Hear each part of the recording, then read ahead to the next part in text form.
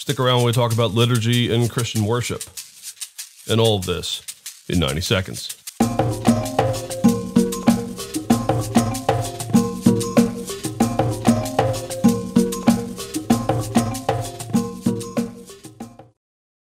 Liturgy just simply means the service of God's people for God. Now, in modern English, the word liturgy often simply means a more elaborate service. Vestments, incense, ritual actions, and certain things that really feel quite ancient. The kinds of things you would see in Eastern Orthodox, a Catholic, or an Anglican service.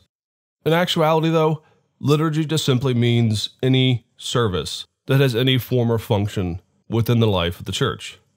So, in fact, those churches that would often describe themselves as being non liturgical are, in fact, themselves liturgical in the sense that they have a pattern, they have a way of conducting their services. It might be more informal, it might lack some of the things that we see in more elaborate forms of liturgy, but the reality is, all Christians have a liturgy. To not have a liturgy is to not have a church service. In the original, Liturgy just simply meant the enactment of the people of God, coming together, praying, singing, hearing the preached word, and having the sacraments. So when we see people describing liturgy, it can mean one of two things.